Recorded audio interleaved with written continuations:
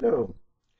This is uh, a supplemental uh, video over three other videos that we've done relating to uh, this uh, book, uh, a hardware interfacing and control protocol, uh, which details how to create a system of hardware which then programmed with using a firmware and in this case, it's, a, it's dealing with the propeller chip. And we show in another ebook how you can do the same thing for an Arduino. Uh, and uh, once we program the hardware with this specialized firmware, we can then run different softwares to make the hardware different, do different things. And we use RobotBASIC for that. Uh, but uh, obviously you would like sometimes to control the hardware over a network, over a LAN, instead of directly using uh, a wireless link. For instance, in this case, this is an XBee uh, transceiver, and we have an equivalent transceiver on the PC, and the PC can control this hardware to do different things. And we showed we showed how to do uh, this and we showed programs that uh, demonstrate this fact. Like, for instance, now this hardware can be pitched and rolled, and we have uh, a compass module, an accelerometer, and we have here uh, an artificial horizon and a compass and a depiction in 3D of the airplane as it pitches and rolls. And we showed how to do all that in different videos, and this is all detailed in this book.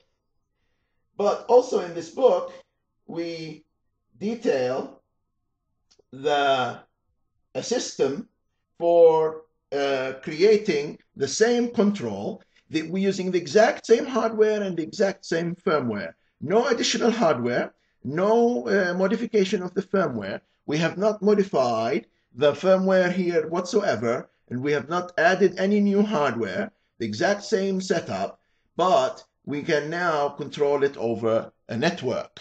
And in chapter 9 of this book, we detail this. We show the topography here. We also show uh, the uh, how the system is modified to uh, to allow for the networking using routers and so on. And then we show the software required. And it's mainly software changes, no hardware additions nor firmware modifications. So we now are we're going to this same software here with a slight modification so that we are going to we uh, we add a few this this software here. We modify it by adding a few lines of code to allow for uh, using the network using a TCP protocol in this case and also modify the software, the, the previous one that you saw running. Wherever it says serial out, we now comment this out. And instead of using a serial uh, connection, we're going to use a TCP connection. So call TCP send command. And instead of sending the command over a serial uh, connection, which is using the wireless, serial connection, we're now going to send the command over a network. So what will happen then is this control program is going to send the commands and receive the results over a serial uh, over uh, a TCP network, over the LAN, over the Ethernet, uh, or a Wi-Fi link, or, or the internet itself. Now, it will send that to this PC. This PC has a software, this PC is going to act as a relay. It has a software that will relay any commands received over the network from this control software and will be sent over, will arrive here, and then will be sent using the uh, wireless link. So instead of the wireless link, this wireless link here, instead of being connected to this PC, we are going to move it over and connect it to this PC. So now this PC is got a wireless connection to the hardware. However, it doesn't have any control software and it doesn't know how to control the hardware. All it has is a software here that are 17 lines of code to act as a relay.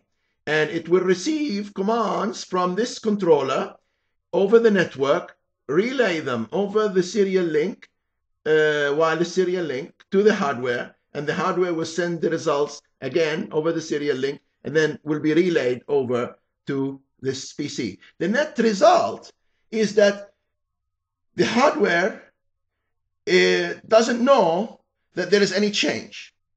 As far as the hardware is concerned, commands are coming and re responses are going over a serial link just like before, wireless serial link just like before. There is no change to the hardware, no change to the firmware whatsoever. This PC then relays that information to the controller software. The controller software, as far as it's concerned, nothing has changed except that it's now sending and receiving over uh, a LAN network, over a LAN link. But as far as control, as far as the functionality of the program is concerned, it's exactly the same. So we're going to do this now. And once we run this software here, this is the relay software. It's a server software. If you notice, it says listening. That's now it's ready and it's waiting, waiting for this uh, PC to link to it. So we're going to run the software now.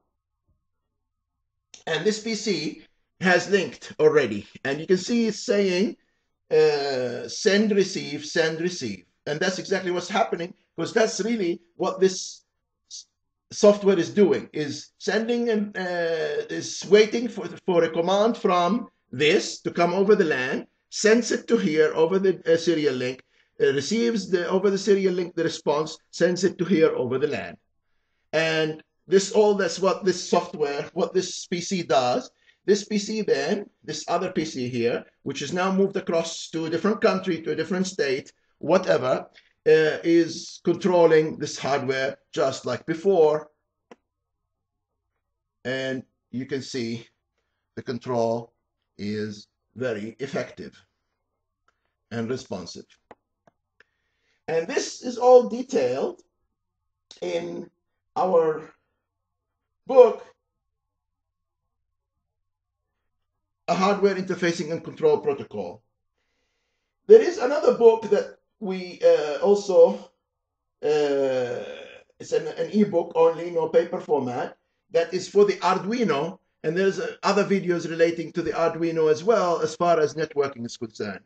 I right now have an Arduino connected to this PC here, to the relay PC. And what I want to do is show that I can control both hardwares, both the uh, Arduino hardware as well as the propeller hardware simultaneously together. This is the Arduino hardware now. And this is the uh, propeller hardware.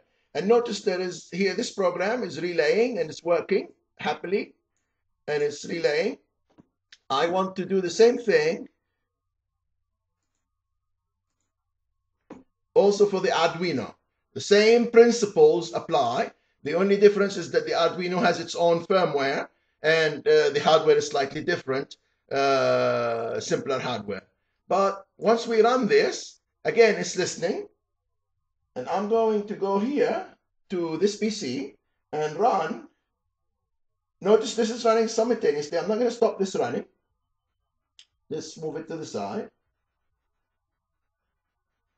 And here is the software for the Arduino. And I'm going to make the Arduino uh, play music.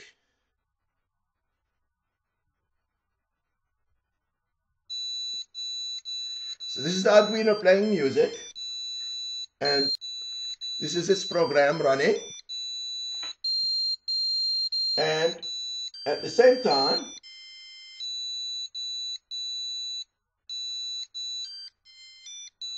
we have this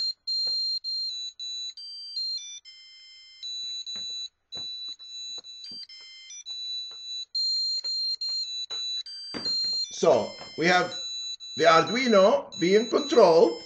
We have the propeller being controlled all simultaneously at the same time. Thank you for watching and please see our other videos.